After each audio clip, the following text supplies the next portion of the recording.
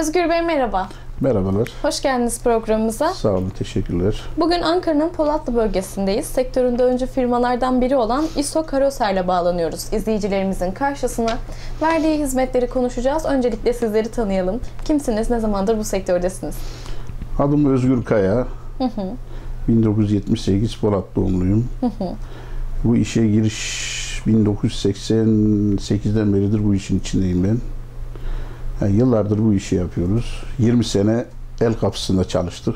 Doğrudur. Aşağı yukarı 10-11 senedir de kendi işimizi yapıyoruz. 11 senedir de işimizin Evet. patronuyuz. Burada hizmet vermeye devam ediyoruz. Evet. Peki, ISO Karoser deyince insanların aklına ne gelmeli bilen bilmeyen izleyicilerimiz için nasıl açıklayabiliriz bu sektörü? Kalite gelsin.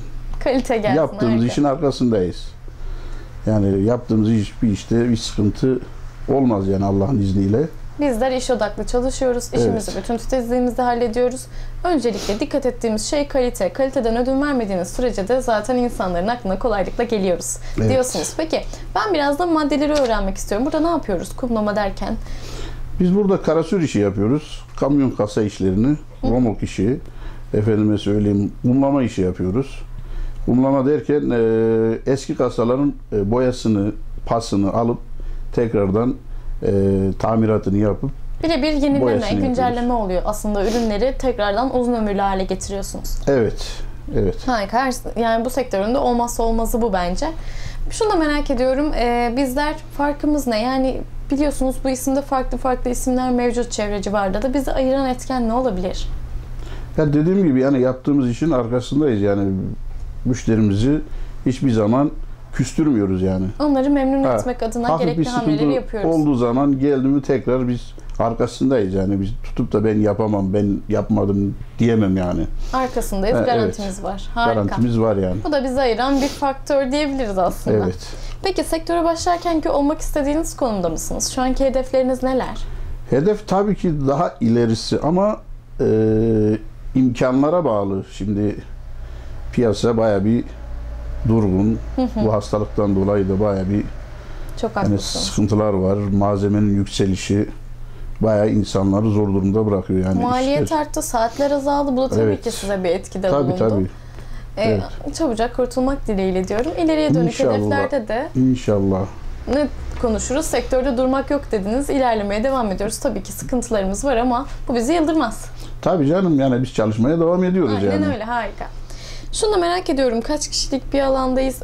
Peki e, aynı anda kaç aracı hizmet ediyoruz? Burası neresi? Açık adresimiz nerede? Burası Polatlı e, Yeni Sanayi Sitesi Uludağ Caddesi.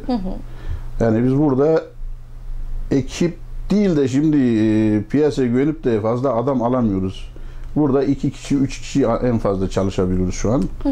Yani durum onu gösteriyor. Doğru. İleriyi göremediğimiz için adam alamıyoruz. Şimdiki e, ücretleri de bayağı bir yüksek. Evet. Yani onun için biraz sıkıntı var yani. Eleman konusunda da bir sıkıntı Evet. yaşıyoruz diyorsunuz. Peki neredeyiz? Açık adresimiz nerede? Ankara Polatlı Gülveren Mahallesi Uludağ, Ca- Uludağ Caddesi No 86.